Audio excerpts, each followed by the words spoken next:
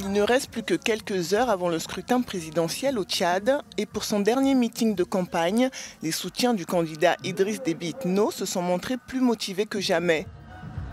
Candidat à sa réélection, le président sortant brique un sixième mandat controversé après 30 années au pouvoir. Il s'est exprimé dans un stade archi-comble de N'Djamena, accompagné de sa femme Inda.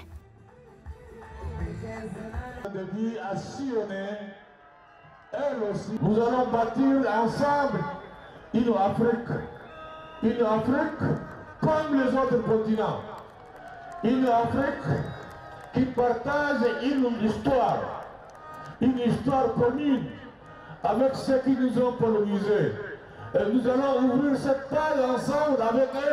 Six candidats seront face à Idriss Déby Itno, mais certains ont préféré jeter l'éponge, comme l'opposant historique Saleh Kebzabo, qui a dénoncé un climat d'insécurité pendant cette campagne, où plusieurs chefs de partis politiques et activistes ont été arrêtés.